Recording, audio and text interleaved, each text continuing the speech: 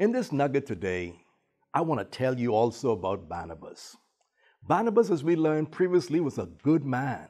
He was full of the Holy Spirit, but thirdly, Barnabas was a man of faith. He had faith in his God. He trusted in God. He believed in God. But do you know what?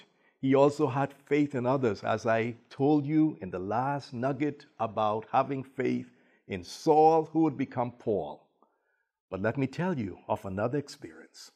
There was a person by the name of John Mark. He had accompanied Paul on his first missionary journey. But John Mark became a bit discouraged and decided to call it quits. You don't do that with the Apostle Paul. But nevertheless, on this occasion, he decided that he would go again.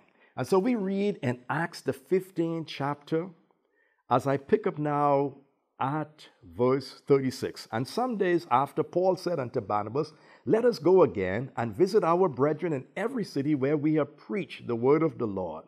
And Barnabas, in verse 37, determined to take with them John, whose surname was Mark. But Paul would not have this.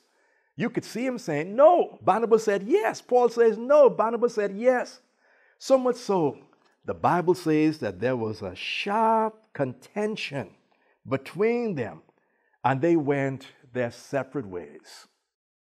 Well, this was not a pleasant experience, but once again, you find Barnabas believing in John Mark, even as he believed in Saul years earlier. And he stood up for uh, John Mark.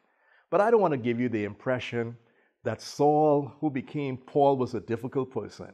Because when you read in Colossians chapter 4 and 2 Timothy chapter 4 and verse 12, you will see where Paul had a change of heart, a change of mind, and he would write, Bring uh, John Mark, for he is profitable to me for ministry.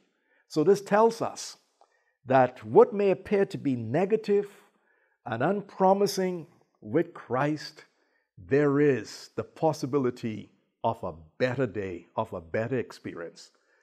Thank God, Paul changed his mind and he saw the potential in John Mark. And do you know why this happened? It was all because of Barnabas.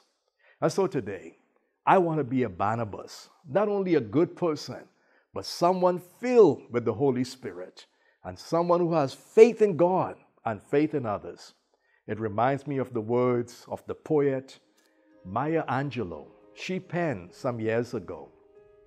People will forget what you said, what you did, but they'll never forget how you made them feel. And Barnabas made people feel good. Go and do likewise. God bless you.